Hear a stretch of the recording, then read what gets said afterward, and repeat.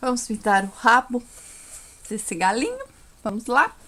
Então, vamos usar, olha lá, o pincelzinho 14, tá um pouquinho macio, azul marinho. Olha, pega a tinta, uma quantidade bem generosa e vamos lá pro rabinho, ó. Bem soltas pinceladas, ó. Essas pinceladas aqui, a gente pode deixar mais clarinha, né? Mais escuro aqui no centro e mais claro essas das extremidades, né? Da ponta, né? Então, ó, descarrega aqui no centro e à medida que você vai saindo, você alivia a quantidade da tinta. Deixa mais claro aqui que a gente vai colocar um outro tomzinho, não chega até no final. Olha só, não precisa preencher tudo, tá? Olha só, aqui pode dar um movimentinho assim, né, nas peninhas, olha lá, tá? Pra ela ficar aquelas peninhas mais soltas, tá? Então, essas peninhas aqui, ó, olha, a gente pode dar um movimentinho, ó, tá? Clarinha, né, mais clara, olha lá. Então, o fundo é isso aqui, tá? Vamos colocar agora algumas cores essas penas, ó, sempre pegando. Agora que já fizemos o fundo, a gente vai usar umas quantidades, uma quantidade menor. Verde pinheiro.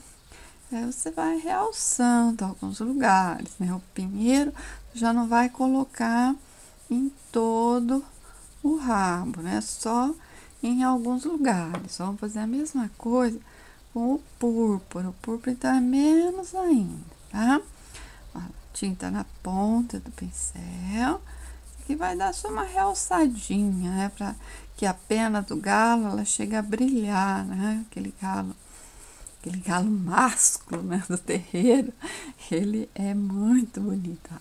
O preto, um pouquinho mais aqui, que vai dar profundidade. Olha. Aí você só alonga um pouquinho, ó não fica definindo peninha por peninha, porque na verdade a atração principal desse desenho é a galinha. O galo é um coadjuvante apenas, né? não precisa dar esses status todos pro gato, tá? Vamos colocar o branco, agora com o branco a gente vai separar essas peninhas, ó, só no cantinho. Você não tem segurança para pintar o rabo, né? Que o rabo é a atração do galo. É aquele rabão que vai atrair as galinhas, as galinhas vão ficar apaixonadas pelo galo. Já pensou que romance lindo?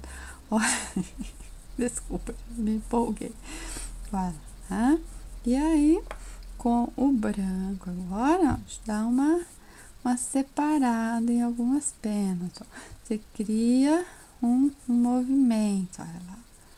Ó pouca tinta, gente. Sempre pouca tinta, porque quando você coloca pouca tinta, você pode vir e colocar mais, né? Você coloca muita tinta, depois você não tem como tirar essa quantidade de tinta. É só isso, o rabo está feito. Que tal?